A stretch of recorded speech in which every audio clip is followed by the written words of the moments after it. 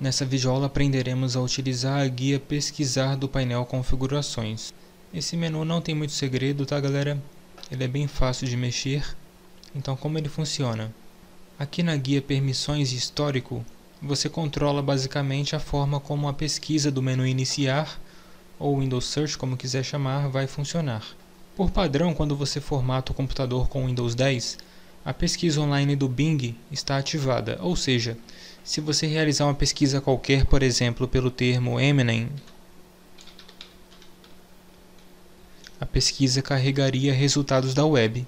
No meu caso não vai carregar porque eu desativei a pesquisa na web no GPDit do Windows. Mas no seu caso deve aparecer aqui dentro sugestões de resultados do Google e aqui do lado também. Então aqui nessas três opções você controla os filtros de pesquisa, que pode ser estrito, moderado ou desativado. Se você escolher a opção estrito, toda vez que você pesquisar por algum termo obsceno, por exemplo, sei lá, um termo pornográfico, a pesquisa ela vai filtrar textos, imagens e vídeos que retornarem com a sua pesquisa. Então, se você pesquisar algum conteúdo adulto, todo esse conteúdo será censurado. Se você escolher a opção moderado, apenas as imagens e os vídeos de conteúdo adulto serão censurados, mas o conteúdo no formato de texto irão aparecer normalmente.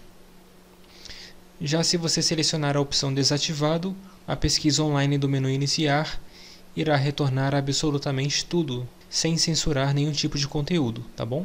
Por padrão eu deixo essa opção selecionada.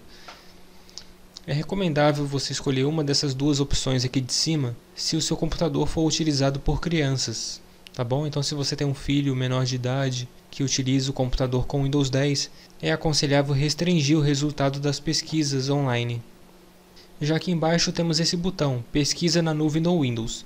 Se você ativar essa opção, sempre que você pesquisar alguma coisa aqui no menu iniciar, a pesquisa vai retornar resultados dentro da nuvem da Microsoft. Ou seja, vai retornar arquivos armazenados na nuvem, por exemplo, no OneDrive, que é o principal meio de armazenamento na nuvem da Microsoft. É basicamente o único serviço que ela oferece no ramo. Então, marcando essa opção, se você pesquisar por um documento e houver algum termo semelhante dentro do OneDrive, esse termo será retornado aqui dentro, tá bom? Então, se você não utiliza o OneDrive, é aconselhável desabilitar esse botão. Histórico. Aqui embaixo temos a opção do histórico, histórico do meu dispositivo. Se você habilitar esse botão, o Windows 10 ele vai monitorar a pesquisa que você realizar em todos os seus dispositivos com o Windows 10, em todos os aplicativos conectados com a sua conta da Microsoft, as suas configurações, entre outros históricos de pesquisa, e vai sincronizar entre um dispositivo e outro. Assim a pesquisa consegue retornar resultados mais precisos, digamos assim. Se você só utiliza um computador com Windows 10, ou seja, apenas um dispositivo, o recomendado é deixar essa opção desativada e também limpar o histórico do seu dispositivo, tá bom? Logo em seguida temos a guia Pesquisando no Windows. Essa guia aqui basicamente se refere à indexação de arquivos da pesquisa do Windows. Para a pesquisa do menu iniciar retornar algum resultado, o Windows 10 primeiramente precisa indexar os arquivos nas pastas mais acessadas que geralmente são essas daqui da lista. Então, para isso, ele utiliza uma ferramenta chamada indexação, que é essa daqui que você acessa digitando index. Então, já aparece aqui a opção opções de indexação. Eu vou ensinar a usar essa ferramenta em uma videoaula separada, tá bom? Então aqui você tem um resumo da indexação, o seu status basicamente, né? Então aqui temos informações a respeito do total de itens indexados no Windows, que nesse momento é 4.396 no meu caso. Tenho zero arquivos pendentes para serem indexados. Aqui embaixo temos essas duas opções, clássico e avançado. Como elas funcionam? Marcando a caixa clássico, o Windows 10 ele vai pesquisar somente na sua biblioteca de usuário e na sua área de trabalho. A biblioteca se refere às pastas vídeo, música, imagens, que são essas pastas aqui embaixo que fazem parte da biblioteca do usuário, tá bom? Incluindo a área de trabalho, que também é uma pasta. Então, marcando essa caixa, ele só vai pesquisar nessas pastas. Aqui embaixo temos a opção para personalizar esses locais pesquisados, ou seja, indexados na pesquisa. Só que mais uma vez eu vou ensinar a mexer nessa parte em uma outra videoaula separada, tá bom? Já selecionando a opção Avançado, você está dando autorização para o Windows 10 realizar uma pesquisa no computador inteiro, incluindo sua biblioteca de usuário, sua área de trabalho e as demais pastas no disco local. As únicas exceções são essas pastas, incluída aqui na lista de pastas excluídas. Todas essas pastas aqui embaixo não serão indexadas na pesquisa.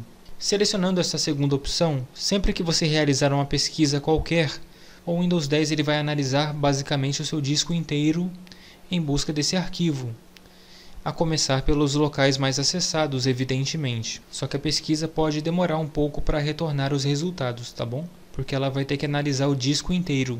Então, por isso que é aconselhável é selecionar essa primeira opção, clássico.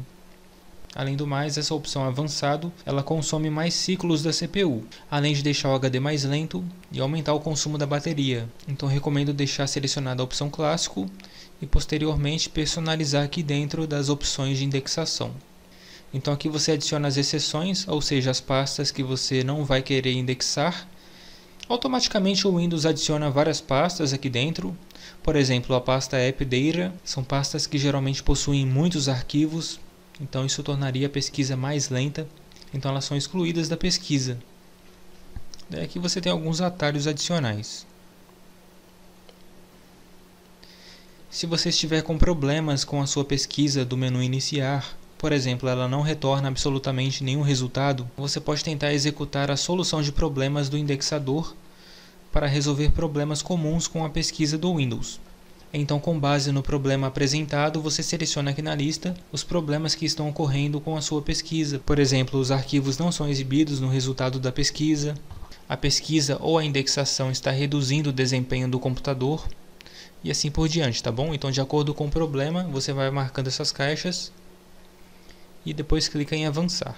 Daí o Windows vai tentar automaticamente solucionar o problema, certo? Por último temos a guia mais detalhes. Aqui não tem nada demais, tá bom? Só alguns atalhos. Então é isso, galera. É assim que a gente utiliza a guia pesquisar do painel configurações. Um abraço e até a próxima videoaula.